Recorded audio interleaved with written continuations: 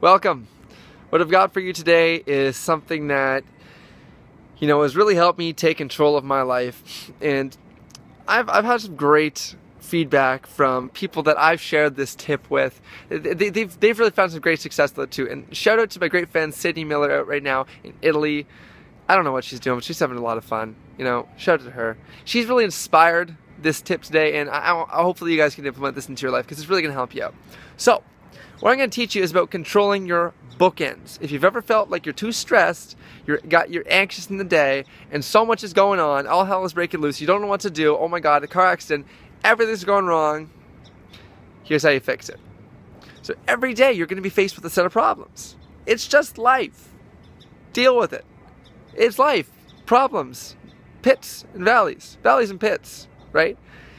And you have to learn to work with it. So, to keep your sanity, what you're going to do is control the bookends. It doesn't matter what happens in the middle, just control how you start and finish, right? You're running a race. As long as you start strong and finish strong, it doesn't matter what happens in the middle. You won, you finished, you started, you finished. Good. Okay? So, when you wake up in the morning, I want you to wake up 7 minutes early tomorrow. You wake up at 8, wake up at 7:53. In that 7 minutes, I want you to reflect. What am I setting out to do today? What do I want to accomplish today? What are my goals today? Who do I want to help today? What do I want to do today? And in that seven minutes, when you figure that out, you just took control of your day.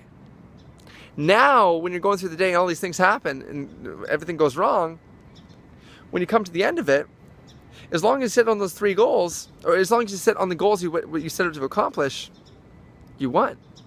That's a good feeling. Just decide what you want to do each day and make sure you accomplish it. Unless you get into a car accident or you know you, you lose a book or or uh, you know I, don't know something something bad happens. It's going to be stressful. You'll be, oh no, oh goodness, oh that, that that sucks. Hey, you said what you went to do. Be proud of that. You'll feel a lot better. What I like to do is at my last end of the day, I like to read a book because your mind subconsciously continues to think as you fall asleep. So whatever you put in it before you go to sleep is what you think about. And if you want to grow, if you want to find more success in your life, find a book that helps you achieve what you want to achieve. Listen to people who have what you want and you'll get there. Simple.